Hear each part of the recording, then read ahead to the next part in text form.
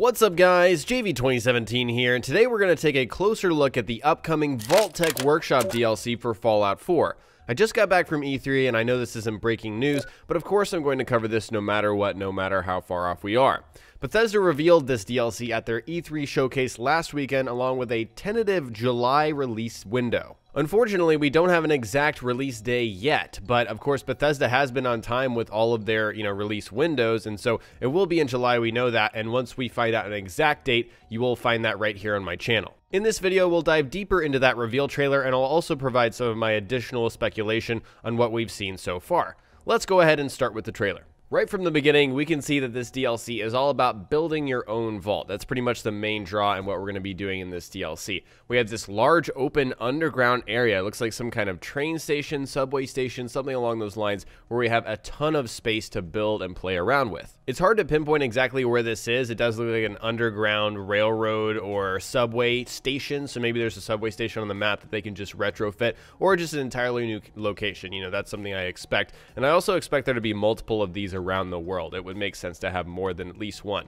One more thing I want to point out before moving on, we have two ghouls in the top left above the build your own vault banner and we will need to clear out those ghouls before continuing and building. So we can tell there's going to be certain items already in these areas. We had that train right there that we could just grab for steel and also we can knock out certain walls to expand the buildable space like with this limestone wall that's about to go down. And we get some concrete from that but also there's a rad scorpion behind. So looks like we're gonna have to clear out these areas from ghouls rad scorpions things like that and then we'll be able to build. We're pausing again here to look at some of the first vault building and now we see exactly how this is going to go down. First off direct your attention attention to the bottom of the screen, we can tell there's going to be a whole nother vault category. So it's not going to be within structures, it's going to be vault. And then within vault, we're going to have structures. And I think that's because there's tons of stuff that's being added, tons of different items we can actually add into the vault that are vault specific. So we can tell that stairs are something we'll find under the utility section of structures within the vault master category. We can see other things like door openings on the left side of that centerpiece.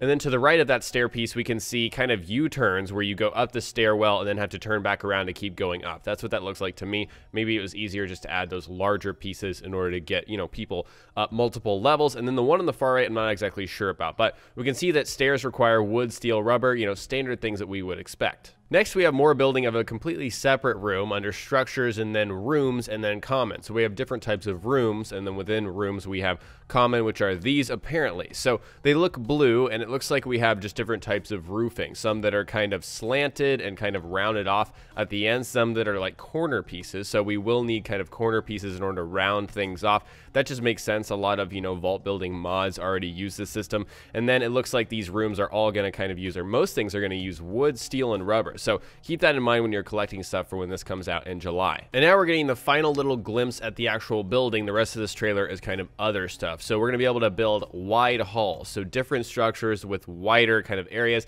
Very similar to what we have when we first enter Vault 81. As you guys know with the Fusion Cores, that's where you get the Overseer's Guardian. You can do other things there. But it has a wide hall entrance. And so we're going to build something very similar here. Looks like there's a lots of different types. Maybe some that you can kind of have a connect four where it goes in all four different directions. That looks like the third piece there. Just a lot of different options. Again, things we've already seen in mods. Once again, this takes wood, rubber, and steel. Very standard, it looks like, materials that we'll need to build. Next, we get a very quick sequence where we have people walking into the vault. And this looks like to me that our vaults are going to inherently attract people, you know, from the wasteland to come in and live in our vault. Now, that is pure speculation, but just seeing this really reminds me of that and kind of reminds me of Fallout Shelter. As I said before, this is really meta. It's like they made a DLC out of Fallout Shelter, which is based on the Fallout main game. So, anyways, I, this is something that's really interesting. I'd like to know what you guys think is going on here. Maybe we have to send people to the vault individually, or maybe it just actively attracts people. We're going to look at this next part in slow motion a few times just to point out all the new things. First off, it looks like our vaults are going to be attacked by raiders and possibly more. If this follows Fallout Shelter,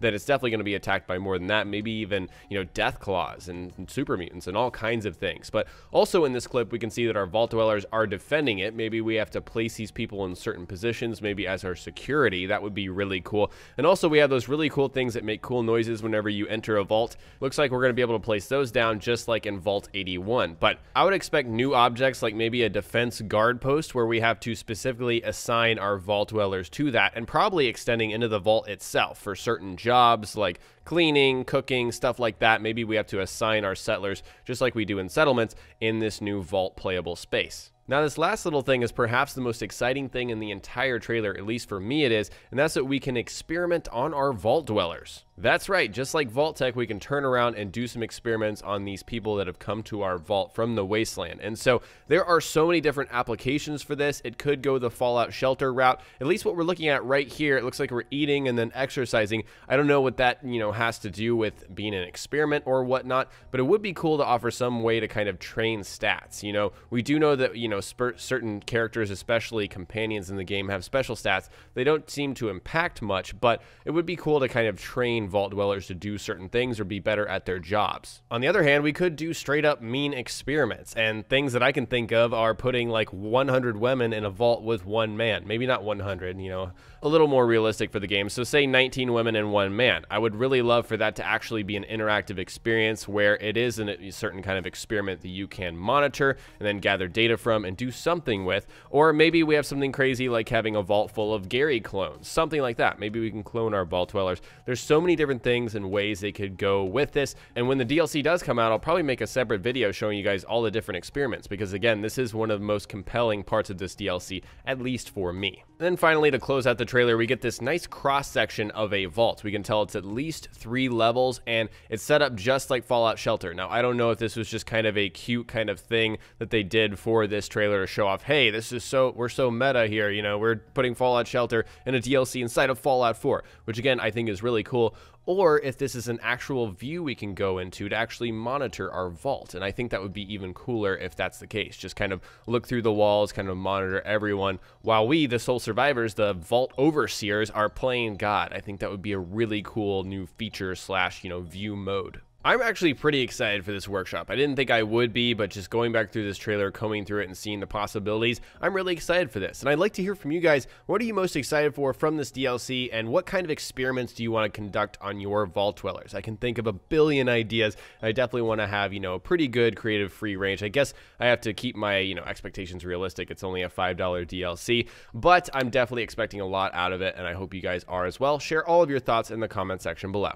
Alright guys, today I shared my analysis of the Vault-Tec DLC trailer for Fallout 4, and next time we will cover more Fallout on my channel, so stay tuned for Fallout 4 tips and tricks videos. If you learned something new or enjoyed this video, remember to hit that like button, I would really appreciate it, and don't forget to subscribe for more DLC coverage, my survival mode live streams, Bethesda.net mods, and general tips and tricks videos. Talk to you guys next time. Peace!